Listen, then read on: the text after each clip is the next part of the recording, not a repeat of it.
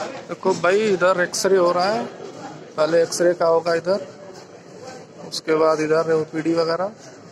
उधर ice test हो रही है।